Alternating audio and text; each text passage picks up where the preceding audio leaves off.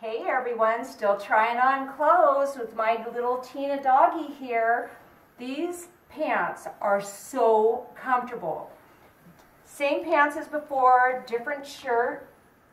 If you guys want us to help you put outfits together, we are more than capable. Come to Mystique Boutique. See you soon.